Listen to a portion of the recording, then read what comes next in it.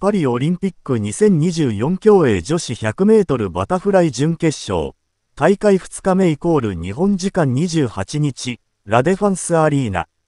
今大会がオリンピック初出場となる平井瑞希選手が、競泳の女子100メートルバタフライの準決勝に出場しました。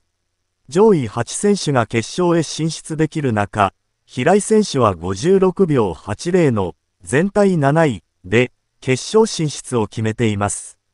レースを見たリオ五輪金メダリストの萩野公介さんは、隣でオリンピックレコードが出るような高いレベルのレースも初めてだったでしょうし、明日に向けて練習になるようなすごくいいレースだったなと思います。とコメント。というのも、準決勝で平井選手の隣のレーンを泳いでいたグレッチェン・ウォルシュ選手、アメリカがオリンピック記録となる55秒38という記録を叩き出していました。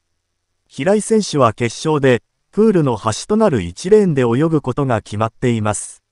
一般的にはプールの中央のレーンの方が有利とされていますが、萩野さんは、バタフライは端が結構いいんですよ、と強調。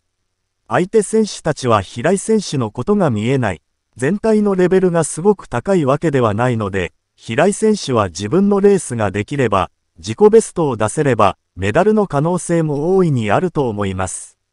本田灯選手、東京五輪の時端っこで銀メダル取ってます。